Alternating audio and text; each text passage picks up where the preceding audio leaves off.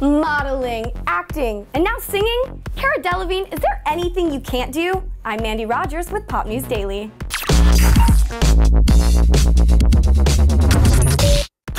Delevingne is determined to show the world that she's a triple threat. The gorgeous 21-year-old model has already revealed her decent acting chops in the recent film adaptation of Anna Karenina. And now she's ready to showcase her vocals. Yes, we've already gotten a sneak peek of her singing skills when she took the stage with her on and off again wifey Rita Ora. But now she just released a new single with London musician Will Heard. The bluesy song is called Sonnentanz, aka The Sun Don't Shine. It was just released on iTunes this week and it's already number 3 on the music platforms chart. It's also the first time we notice that she can actually sing. Will says that Cara's vocals are understated, adding, What she does with her voice is unique, not what you would typically expect. Also, her guitar skills are ridiculously good and she's great fun to jam with. I wonder if Cara will ever collaborate with her BFFs Rihanna or Rita Ora. You know, supermodel Tyra Banks never made it as a serious singer.